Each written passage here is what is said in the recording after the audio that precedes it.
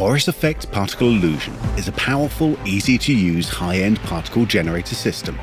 Artists and editors alike can quickly create beautiful, stylistic, and photorealistic particle effects for all types of uses, including motion graphics, backgrounds, and visual effects.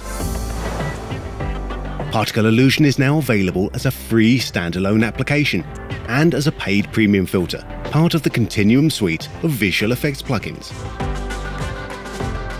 Particle Illusion comes with thousands of preset emitters of all types.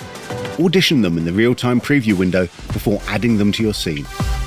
Presets are fully customizable.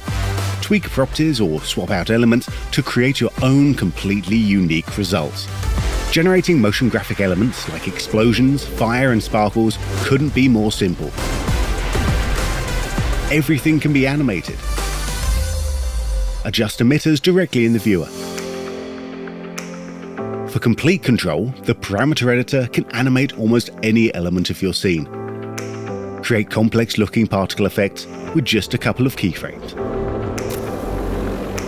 If manual animation isn't your thing, Particle Illusion's forces and deflectors let you add organic, natural looking animation to your particle simulation, interactively in the viewer.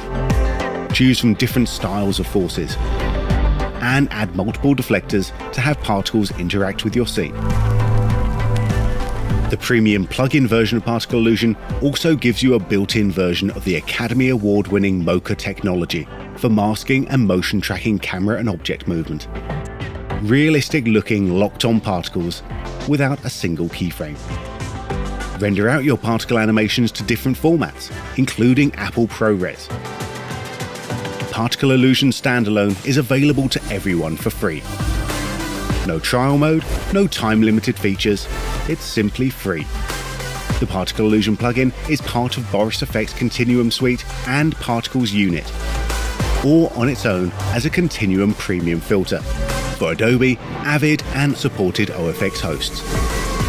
Download Particle Illusion Standalone for free now and learn how to use it with our multi part Getting Started tutorial series at borisfx.com.